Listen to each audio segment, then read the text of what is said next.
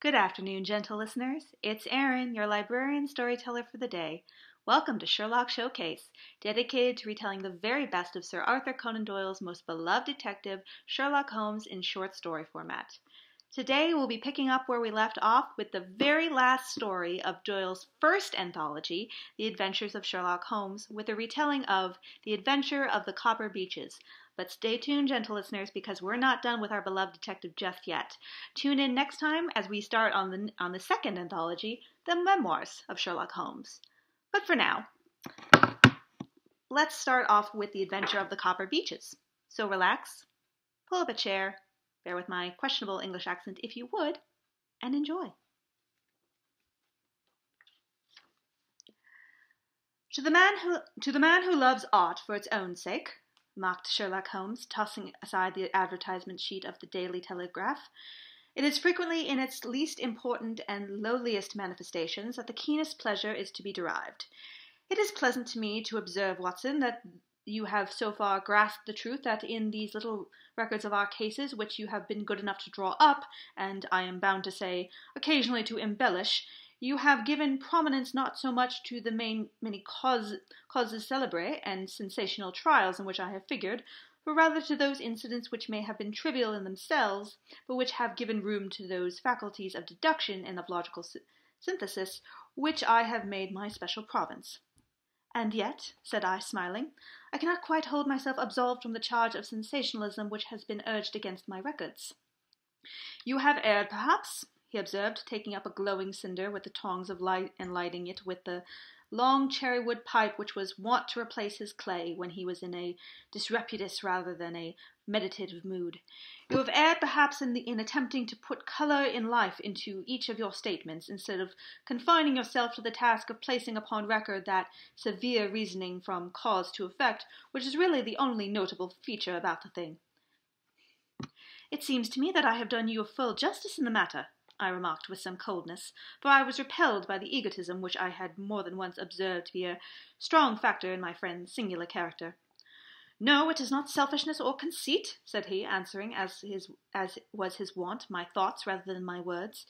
If I claim full justice for my art, as it is it is because it is an impersonal thing, a thing beyond myself. Crime is common, logic is rare.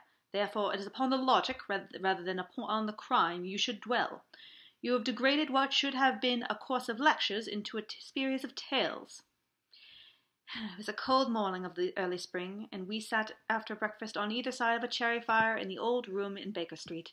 A thick fog rolled down between the lines of the dun of the dun-colored houses, and the opposing windows loomed like dark shapeless blurs through the heavy yellow wreaths.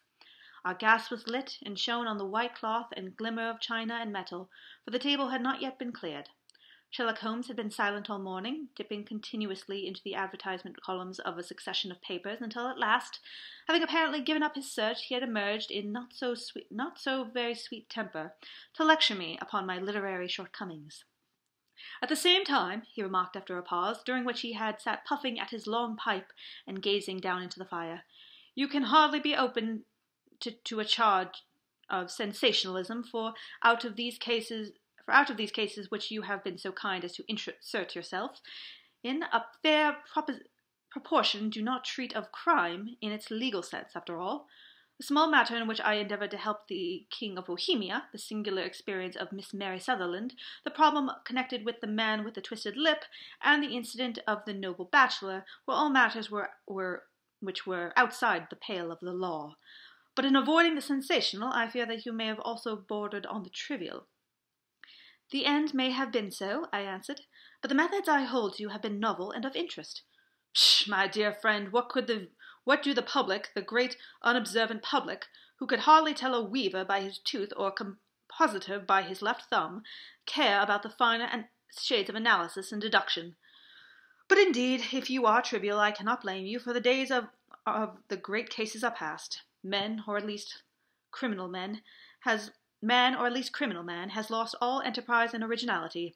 As to my own little practice, it seems to be de- de- degenerating into an agency for recovering lost lead pencils and giving advice to young ladies from boarding schools.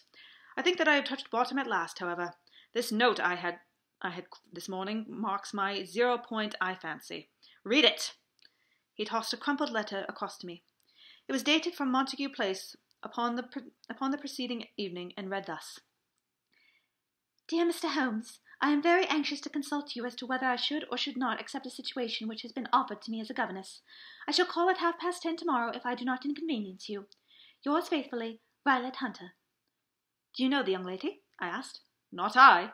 It is half past ten now. Yes, and I have no doubt that that is her ring.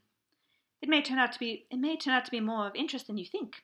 You remember that the affair of the blue carbuncle, which appeared to be a mere whim at first, developed into a series of serious investigation. It may be so in this case as well. Well, let us hope so. But our doubts will very soon be solved, for here, unless I am very much mistaken, is the person in question. As he spoke, the door opened and a young lady entered the room.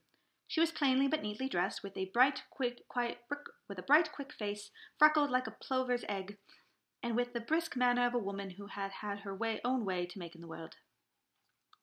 You will excuse me troubling you, I am sure, said she, as my companion rose to greet her. But I have had a very strange experience, and as I have no parents or relations of any sort from whom I could ask advice, I thought perhaps you would be kind enough to tell me what I should do. Pray take a seat, Miss Hunter. I shall be happy to do anything that I can to serve you.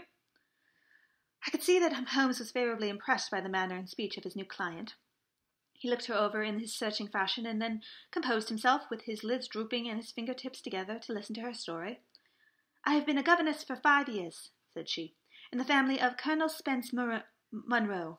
But two months ago, the colonel received an appointment at Halifax in Nova Scotia and took his children over to America with him, so that I found myself without a situation. I advertised and I answered advertisements, but without success. At last, the little money which I had saved began to run, run short, and I was at my wits' end at what I should do. There was a well known agency for for governesses in the West End called Westaway's, and there I used to call upon once a week in order to see whether anything had turned up that what, which might suit me. Westaway was the name of the founder of the business, but it is re- really managed by Miss Stoper. She sits in her own little office, and the ladies who are seeking employment wait in the an- anteroom, and are then shown in one by one when she consults her ledgers and sees whether she has anything which would suit them. Well, when I called last week, I was shown into the little office as usual, but I found that Miss Stoper was not alone.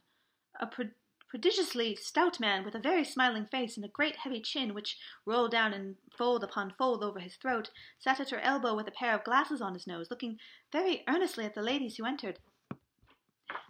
As I came in, he gave quite a jump in his chair and turned quickly to Miss Stoper. That will do, he said. I could not ask for anything better. Capital, capital. He seemed quite enthusiastic and rubbed his hands together in the most genial fashion.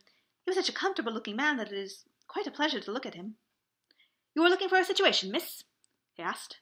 Yes, sir. As a governess? Yes, sir. And what salary do you ask?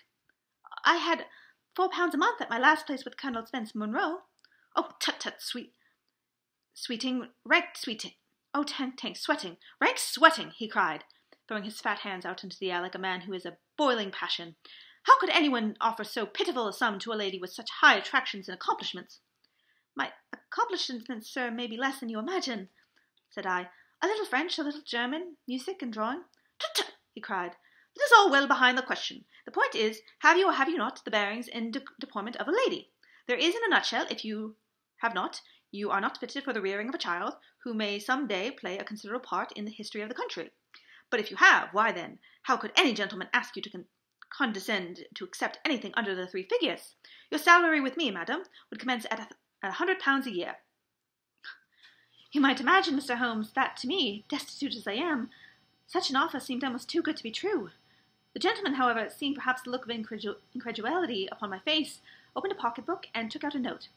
It is also my custom, said he, smiling in the most pleasant fashion until his eyes were just two little shining silts, slits among the white creases of his face, to advance to my young ladies half their salary beforehand, so that we may meet little any little expenses of their journey and their wardrobe. It seemed to me that I had never met so fascinating and so thoughtful a man. As I was already in debt to my tradesmen, the advance was great convenience, and yet there was something unnatural about the whole transaction which made me wish to know a little more before I quite committed myself. May I know where you live, sir? said I. Hampshire, charming rural place. The Copper Beeches, five miles on the far side of West Winchester. Is the most lovely country, my dear young lady, and the dearest old country house. And my duties, sir, I should be glad to know just what they are. One child, one dear little romper, just six years old. Oh, if you could see him killing cockroaches with a slipper. Smack, smack, smack. Three gone before you could wink. He leaned back in his chair and left his eyes into his head again. I was a little startled at the nature of the child's amusement, but the father's laughter made me think that perhaps he was joking. My, my duties, then, I asked, are to take charge of a single child? No, no, not the soul, not the soul, my dear young lady, he cried. Your duty would be, as I am sure your good sense would suggest, to obey any little commands that my wife might give, provided always that they were such commands as a lady might with propriety obey. You see no difficulty, eh? I should be happy to make myself useful. Quite so. In dress now, for example, we are faddy people, you know, faddy but kind-hearted. If you if you were to ask to wear any dress which we might give you, you would not object to our little whim, eh? No, said I, considerably astonished at his words. Or to sit here, or to sit there, that would not be offensive to you? Oh, no. Or to cut your hair quite short before you come to us? I could hardly believe my ears, Miss ears. As you may observe, Mr. Holmes, my hair is somewhat luxuriant and of a rather particular tint of chestnut. It has been con- considered artistic. I could not dream of sacrificing it in this off-brand fashion. I am afraid that that is quite impossible, said I. He had been watching me eagerly out of his little small eyes, and I could see a shadow pass over his face as I spoke. I'm afraid that that is quite essential, said he. It is a little fancy of my wife's, and ladies' fancies, you know. Madam, as you know, madam, ladies' fancies must be consulted. And so you won't cut your hair? No, sir, I really could not, I answered firmly.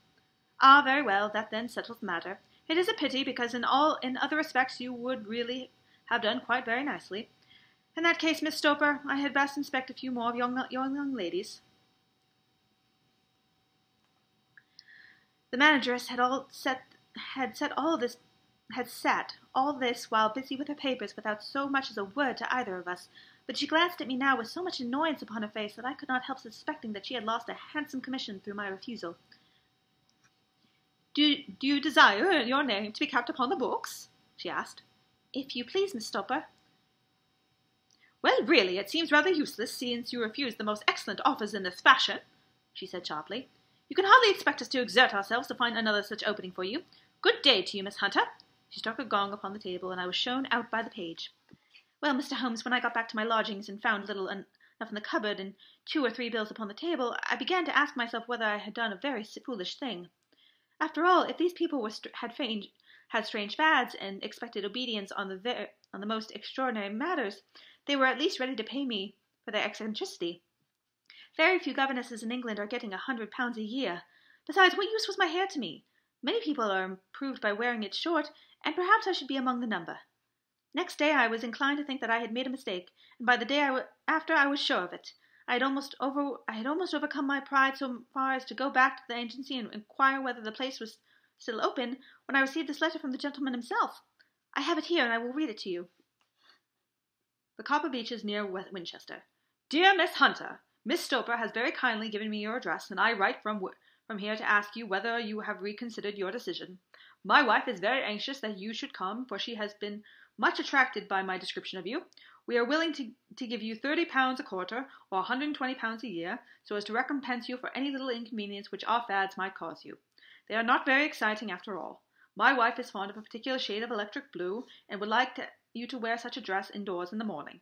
You need not, however, go to the expense of purchasing one, as we have one belonging to my dear daughter Alice, now in Philadelphia, which would, I think, fit you very well. Then, as to sitting here or there, or amusing yourself in any manner indicated, that need cause you no inconvenience. As regards to your hair, it is no doubt a pity, especially as I could not help remarking its beauty during our short interview, but I am afraid that I must remain firm upon this point, and I only hope that the increased salary might recompense you for your loss. Your duties, as far as the child are, is concerned, are very light.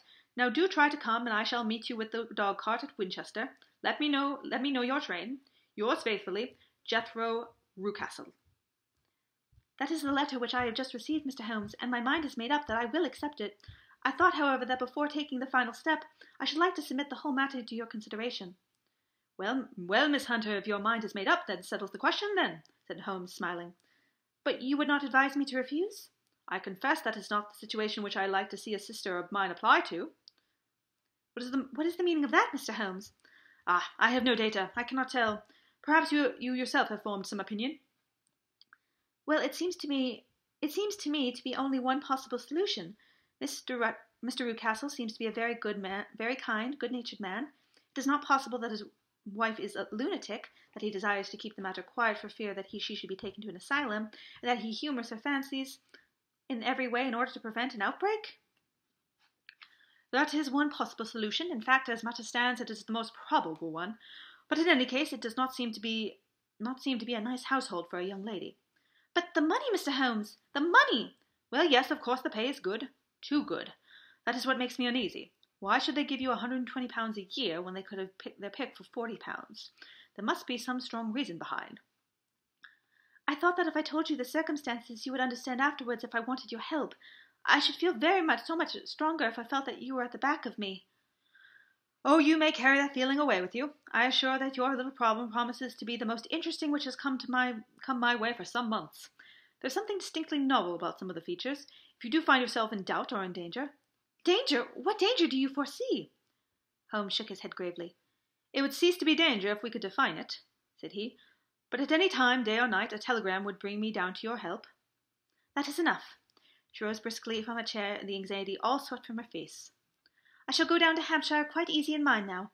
I shall write to Mr. Rucastle at once, sacrifice my poor hair tonight, and start for Winchester tomorrow. With a few grateful words to Holmes, she bade both of us good night and bustled on on her way. At least, said I, as we heard her quick, firm steps descending the stairs, she seems to be a young lady who is very well, very well able to take care of herself. And she would need to be, said Holmes gravely. I am much I am much mistaken if we do not hear from her before the days are past. Before many days are past. It was not very long before my friend's prediction was fulfilled. A fortnight went by, during which I frequently found my thoughts turning in her direction and wondering what strange side alley of human experience this lonely woman had strayed into. The usual, the unusual salary, the curious conditions, the light duties, all pointed to something abnormal. Though whether a fad or a plot, or whether this man was a philanthropist or a villain, it was quite beyond my powers to determine. As to Holmes, I observed that he sat frequently for half an hour on end, with knitted brows and abstracted air, but he swept the matter away with a wave of his hand when I mentioned it. Data, data, data! he cried impatiently. I cannot make bricks without clay. And yet he would always wind up in a mu- wind up by muttering that no sister of his should ever have accepted such a situation. The telegram which we received, eventually received, came late one night, just as I was thinking of turning in, and Holmes was settling down to one of those all-night chemical researches which he frequently indulged in, when I would leave him when I would leave him stooping over a retort and a test tube at night, and find him in the same position when I came down to breakfast in the morning. He opened the yellow envelope, and then, glancing at the message, threw it across to me. Just look up the trains in Bradshaw, said he, and turned and turned back to his chemical, stu- chemical studies. The summons was a brief and urgent one. Please be at the Black Swan Hotel at Winchester at midday tomorrow, it said. Do come. I am at my wits' end. Hunter. Will you come with me? said Holmes, asked Holmes, glancing up. I should wish to. Just look it up then. There's a train at half past nine, I said, glancing over my Bradshaw. It is due at Winchester at eleven thirty. That will do very nicely. Then perhaps I had better postpone my analysis of the stones, as we may need to be at our best in the morning. By eleven o'clock the next day, we were well upon our way to the old English capital. Holmes had been buried in the morning paper all the way down, but after we passed the Hampshire border, he threw them down and began to admire the scenery. It was an ideal spring day, a light blue sky, flecked with the fleecy, little fleecy white clouds drifting across from the west to east. The sun was shining very brightly, and yet there was an exhilarating nip in the air which sets an edge to a man's energy. All over the countryside, away to the rolling hills around Aldershot, the little red and grey roofs of the farm, farmsteadings peeped out from amid the light green of their new foliage. Are they not beautiful and fresh? I cried, with the enthusiasm of a man fresh from the fogs of Baker Street. But Holmes shook his head gravely. Do you know, Watson, said he, that it is one of the curses of a mind with a turn like mi- with a turn like mine, the curses of a mind with a turn like mine, that I shall I must look at everything with reference to my own special subject. You look at all you look at these scattered homes, and you are impressed by their beauty. I look at them, and the only thought which comes to my, me is a feeling of their isolation and of the impurity which with, which crimes may be committed there. Good heavens! I cried. Who would associate crime with these dear little homesteads? They always fill me with a certain horror. It is my belief, Watson, founded upon my experience, that the lowest and vilest of alleys in London do not present a more dreadful record of sin than does the smiling and beautiful countryside. You horrify me! But the reason is very obvious. The pressure of public opinion can do, can do in the town what the law cannot accomplish.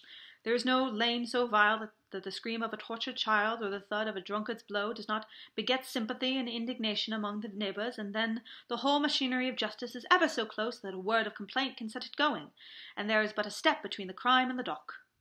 But look at these lonely houses, each in its own fields, filled for the most part with poor ignorant folk who know little of the law, Think of the deeds of hellish cruelty, the hidden wickedness which may go on, year in, year out, at such places, and none the wiser.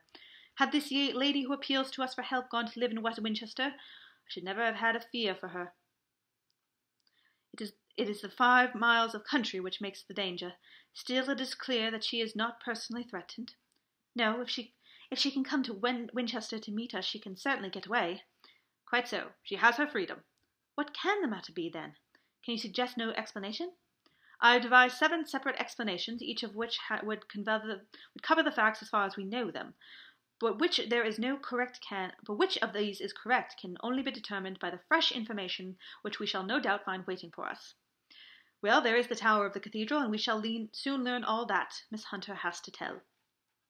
The Black Swan is an inn of repute in the High Street, at no distance from the station, and there we found the young lady waiting for us. She had engaged a sitting room, and our lunch awaited us in the table. I am so delighted that you have come, she said earnestly. It is so very kind of you both, but indeed I do not know what I should do. Your advice will be altogether invaluable to me. Pray tell us what happened to you. I will do so, and I must be quick, for I have promised Miss Rucastle to be back before three. Mr. Rucastle to be back before three. I got his leave to come to, into town this morning, though he knew little of what purpose. Let us have everything in its due order, Holmes struck thrust his long thin legs out toward the fire and composed himself to listen. In the first place, I must say that I have met, on the whole, with no actual ill treatment from Miss, Mr. and Mrs. Rucastle. It is only fair to them to say that, but I cannot understand them, and I am not in the easy, and not easy in my mind about them. What can you not understand? Their reasons for their conduct. But you shall have it all, have it all just as it occurred.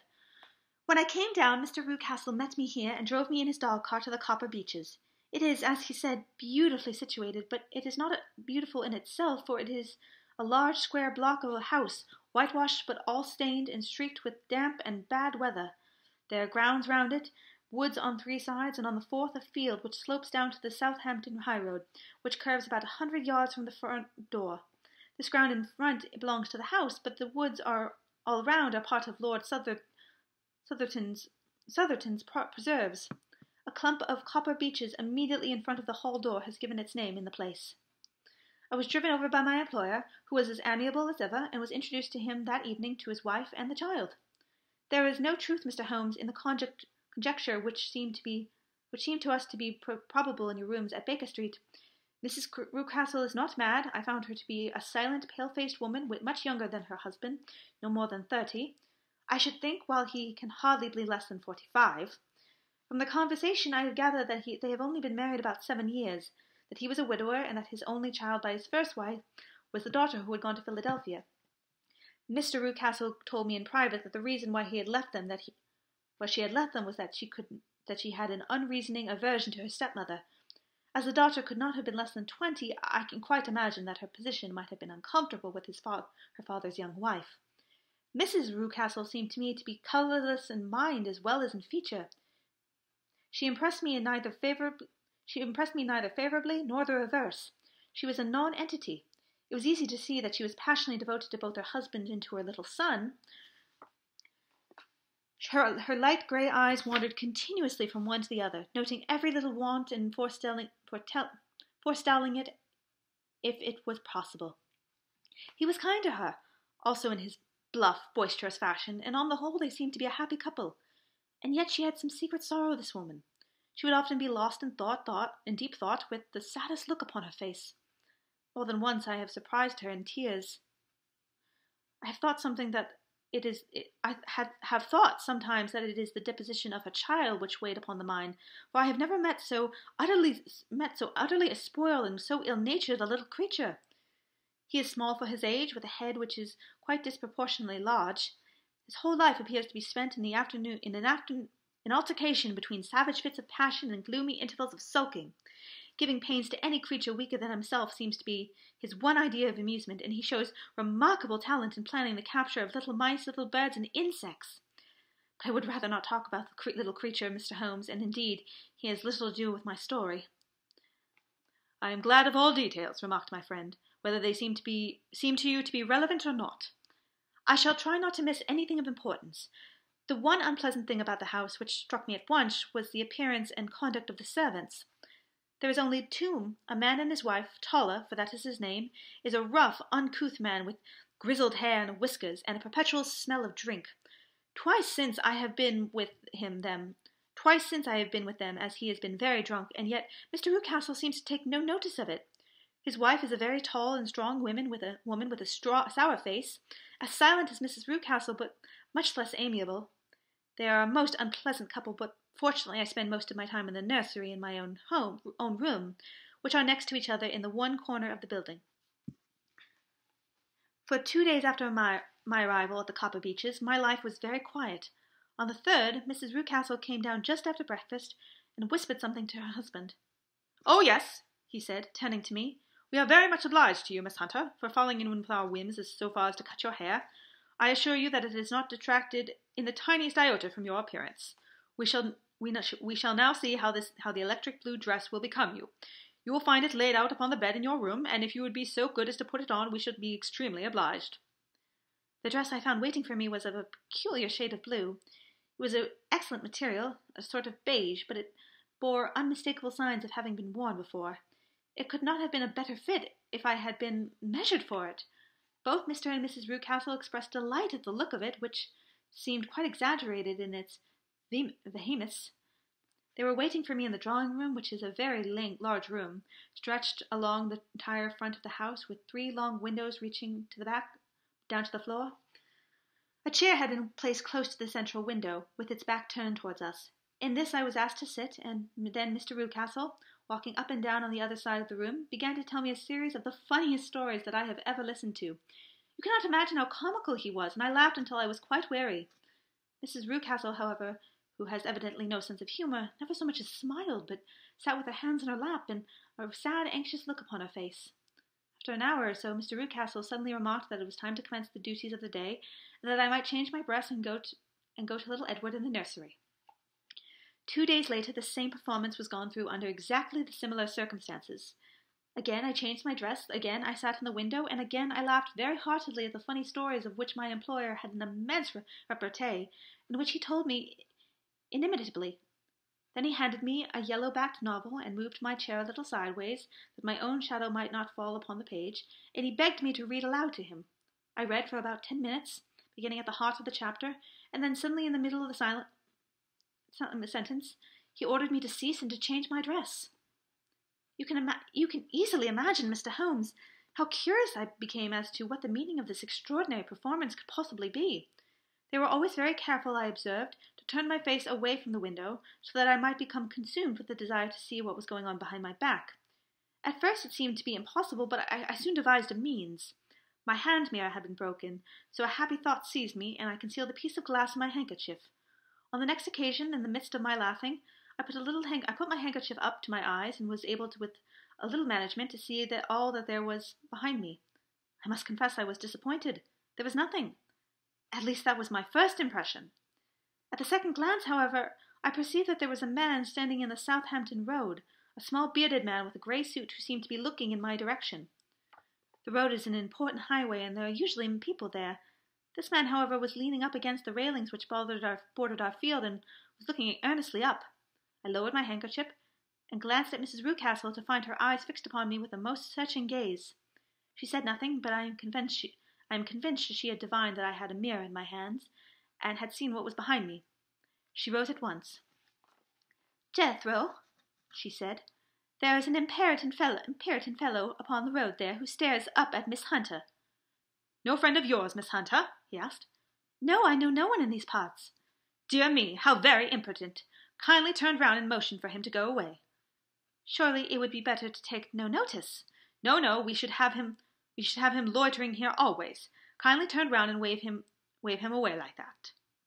I did as I was told, and at the same instant Mrs. Rucastle drew down the blind. That was a week ago, and from that time I have not yet again I have not sat again in the window, nor have I worn the blue dress, nor seen the man of the road. Pray continue, said Holmes. Your narrative promises to be a most interesting one. You will find it rather disconnected, I fear, and then and there may prove to be little relation between the different incidences of which I speak. On the very first day I was at the Copper Beeches, Mr. Rucastle took me to a small outhouse which stands near the kitchen door. As we approached it, I heard the snap, sharp rustling of a chain, and the sound as if a large animal moving about. Look in here, said Mr. Rucastle, showing me a slit between two planks. Is he not a beauty? I looked through and was conscious of two glowing eyes and of a vague figure huddled in the darkness. Do not be frightened, said my employer, laughing at the start which I had given. it is only Carlo, my mastiff. I call him mine, but really old Toller, my groom, is the only man who can do anything with him. We feed him once a day, and not too much then, so he is always as keen as mustard. Toller lets him loose every night, and God help the trespasser whom he lays fangs upon. For goodness sake, don't you ever on any pretext set your foot outside the threshold at night, for it's as much as your life is worth. The warning was no idle one, for two days later I happened to look out of my bedroom window about two o'clock in the morning. It was a beautiful moonlit night, and the lawn in front of the house was silvered over and almost as bright as day. I was standing, wrapped at the peaceful beauty of the scene, when I was aware that something was moving under the shadow of the copper beeches. As it emerged into the moonshine, I saw what it was. It was a giant dog, as large as a calf, tawny tinted with hanging jowl, black muzzle, and huge projecting bones. It walked slowly across the lawn and vanished into the shadow upon the other side. That dreadful sentinel sent a shiver to my chill to my heart, which I do not think that any burglar could have done. And now I have a very strange experience to tell you. I had, as you know, cut my hair in London, and placed it in a great coil at the bottom of my trunk. One evening, after the child was in bed, I began to amuse myself by examining the furniture of my room and by rearranging my own little things. There was an old chest of drawers in the room, the two upper ones empty and upper uh, upper ones empty and open, the lower one locked. I I had filled the first two with my linen, and as I had still much to pack away, I was naturally annoyed as not having the use of the third drawer. It struck me that it might have been fastened by a mere oversight, so I took out my bunch of keys and tried to open it. The very first key fitted to perfection, and I drew the drawer open. There was only one thing in it, but I am sure you would never guess what it was. It was my coil of hair. I took it up and examined it. It was of the same particular peculiar tint and the same thickness, but then the impossibility of the thing uh, obtruded itself upon me. How could my hair have been locked in the drawer? With trembling hands, I undid my trunk, turned out the contents, and drew from the bottom of bottom my own hair. I laid the two tresses together, and I assure you that they were identical. Was it not extraordinary? Puzzle as I would, I could make nothing of it, nothing at all of what I'd meant. I returned the strange hair to the drawer, and I said nothing of the matter to the Rucastles, as I felt that I had put myself in the wrong by opening a drawer which had been locked. I am naturally observant, as you may have remarked, Mr. Holmes, and I soon had a pretty good plan of the whole house in my head. There was one wing, however, which appeared not to be inhabited at all. A door which had been fa- which faced that which lay led into the quarters of the Tollers opened into this suite, but it was invariably locked. One day, however, as I ascended the stair, I met Mr. Rucastle coming out through this very door, his keys in his hand, and a look upon his face which made him a very different person to the round, jovial men to whom I was accustomed. His cheeks were red, his brow was crinkled in anger, and his veins stood out in the temples with passion. He locked the door and hurried past me without a word or a look. This aroused my curiosity, so when I went for a walk in the grounds with my charge, I strolled round to the side from which I could see the windows of this part of the house. There were four of them in a row, three of whom three of which were simply dirty, while the fourth was shuttered up. They were evident, evidently all deserted. As I strolled up and down, glancing at them occasionally, Mr. Rucastle came out to me, looking as merry and jovial as ever. Ah, he said, you must think you must not think it rude of me if I passed you without a word, my young, dear young lady. I was preoccupied with business matters. I assured him that I was not offended. By the way, I said I, You seem to have quite a suite of spare rooms up there, and only one of them has shutters up. He looked surprised. He looked surprised, and it seemed to me a little startled at my remark. Photography is one of my hobbies, he said. I have made my dark room up there, but dear me, what an observant young lady we have come upon! Who would have believed it? Who would have ever believed it? He spoke in a jesting tone, but there was no jest in his eyes as he looked at me. I read suspicion there and annoyance, but no jest. Well, Mr. Holmes, from the moment that I understood that there was something about the suite of rooms which I would, was not to know, I was all in, I was all on fire to go over them. It was not mere curiosity, though I have my fair share of that. Was more of a feeling of duty, a feeling that some good insight, good, some good might come from my penetrating this place. They talk of women's instinct. Perhaps it was women's instinct which gave me that feeling. At any rate, it was there, and I was keenly on the lookout for any chance to pass the forbidden door. It was only yesterday that the chance came. I may tell you that, besides Mr. Rucastle, both Toller and his wife find something to do in these deserted rooms, and I once saw him carrying a large black linen bag with him through the door. Recently he has been drinking hard, and yesterday evening he was very drunk, and when I came upstairs there was a key in the door. I have no doubt at all that he had left it there. Mr. Rucastle and Mr. and Mrs. Rucastle were both downstairs, and the child was with them, so I had an ample, admirable opportunity. I turned the key gently in the lock, opened the door, and slipped through. There was a little passage in front of me, unpapered and uncarpeted, which turned at a right angle at the farther end. Round this corner were three doors in a line, the first and third of which were open. They each led into an empty room, dusty and cheerless, with two windows in the one and one in the other, so thick with dirt that the evening light glimmered dimly through them. The centre door was closed, and across the and across the outside of it had been fastened one of the broad bars of an iron bed, padlocked to one end to a ring at the wall, and fastened at the other with stout cord. The door itself was locked as well, and the key was not there. This barricaded door corresponded clearly with the shuttered window outside, and yet I could see by the glimmer from beneath it that it was, the room was not in darkness. Evidently there was a skylight which let in light from above. As I as I stood in the passage gazing at the sinister door and wondering what secret it might veil, I suddenly heard the steps sound of steps within the little room, and and saw a shadow pass backward and forward against the little slit of dim light which shone out from under the door. A mad, unreasoning terror rose up in me at the sight, Mr. Holmes. My overstrung nerves failed me suddenly, and I turned and ran, ran as though some dreadful hand were behind my, me, clutching at the skirt of my dress. I rushed down the passage, through the door, and straight into the arms of Mr. Rucastle, who was waiting outside. So, he said, smiling, it was you, then? I thought that it must be when I saw the door open. Oh, I am so frightened, I panted. My dear young lady, my dear young lady. You cannot think how caressing and soothing his manner was. And what has frightened you, my dear young lady? But his voice was just a little too coaxing. He overdid it. I was keenly on my guard against him. I was foolish enough to go into the empty wing, I answered, but it was so lonely and eerie in this dim light that I was frightened and ran out again. Oh, it is so dreadfully still in there. Only that? he said, looking at me keenly. Why, what did you think? I asked. Why do you think I locked this door? I am sure that I do not know. It is to keep people out who have no business there, do you see? He was still smiling in the most amiable manner. I am sure that I have, if I had known. Well, then, you know now. And if you ever put your foot over that threshold again. Here, in an instant, a smile hardened into a grin of rage, and he glared down at me with the face of a demon. I'll throw you to the mastiff. I was so terrified that I do not know what I did. I suppose that I must have rushed past him to my room. I remember nothing until I found myself lying on the bed, trembling all over. Then I thought of you, Mr. Holmes. I could not live there any longer without some advice. I was frightened of the house, of the man, of the woman, of the servants, even of the child. They were all so horrible to me. If I could only bring you down, all would be well. Of course, I might have fled from the house, but my curiosity was almost as strong as my fears. My mind was soon made up. I would send you a wire. I put on my hat and my cloak and went down to the office, which was about a half mile from the house, and then returned feeling much easier. A horrible doubt came into my mind as I approached the door lest the, dar- lest the dog might be loose, but I remember that Toller had drunk himself into a state of insensibility that evening, and I knew that he was the only one in the household who had any influence with the savage creature, or who would venture to set him free. I slipped in safely. I slipped in to safety, and lay awake half the night in my joy at the thought of seeing you.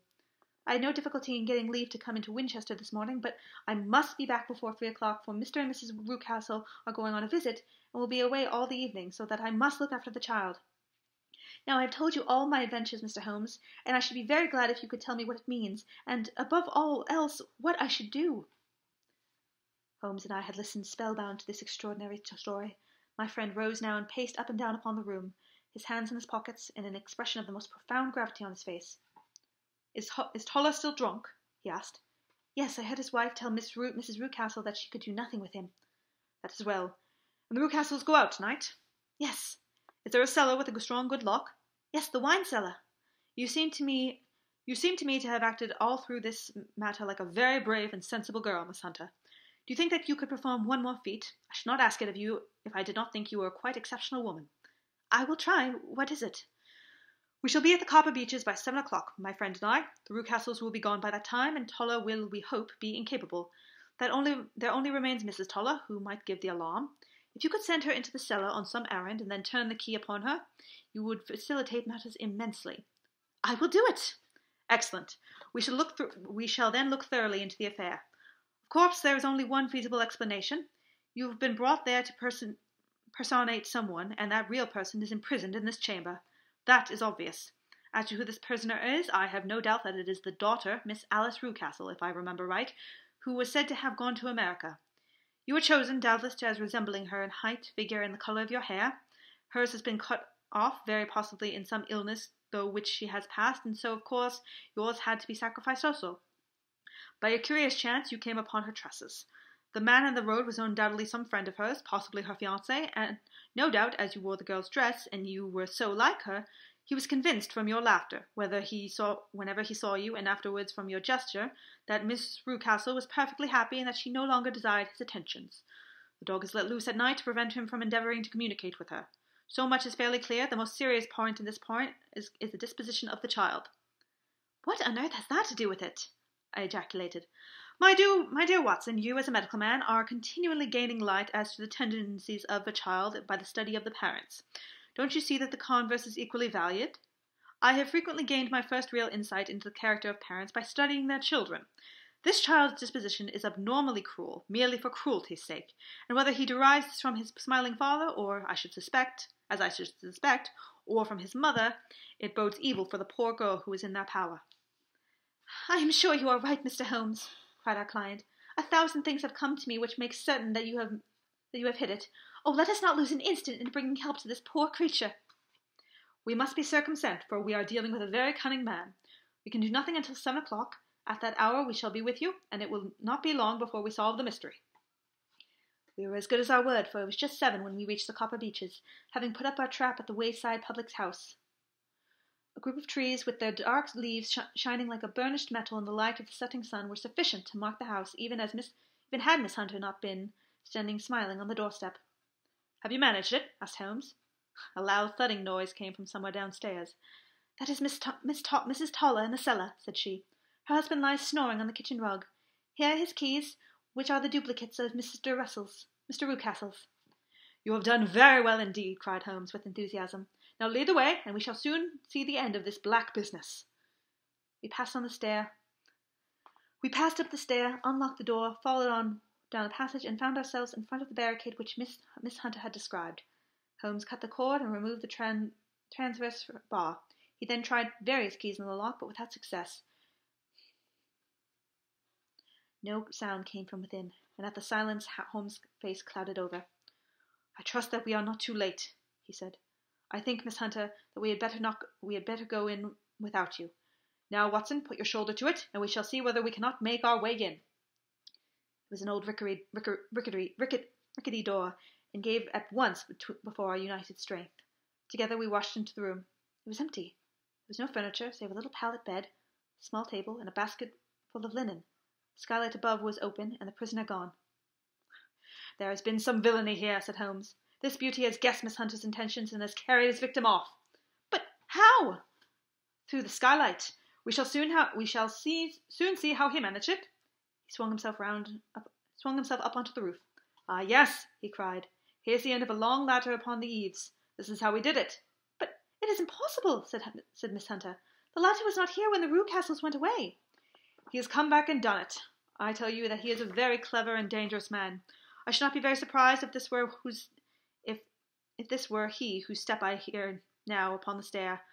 I think, Watson, that it would be as well for you to have your pistol ready. The words were hardly out of his mouth before a man appeared in the door of the room, a very fat and burly man with a heavy stick in his hand. Miss Hunter screamed and shrunk against the wall at the sight of him, but Sherlock Holmes sprang forward and confronted him. You villain! he said. Where's your daughter? The fat man cast his eyes round, and then upon the open skylight. It is for me to ask you that, he shrieked. You thieves, spies and thieves, I have caught you, have I? You are in my power, I'll serve you. He turned and clattered down the stairs as hard as they could go. He's gone for the dog, cried Miss Hunter. I have my I have my revolver, said I. Better close the front door, said Holmes, and we all rushed down the stairs together. We had hardly reached the hall when we heard the baying of a hound, and then a scream of agony, with a horrible worrying sound that it, which was dreadful to listen to. An elderly man with a red face and shaking limbs came staggering out of the side door. My God! he cried. Someone has loosed the dog. It has not been fed for two days. Quick, quick, or it'll be too late.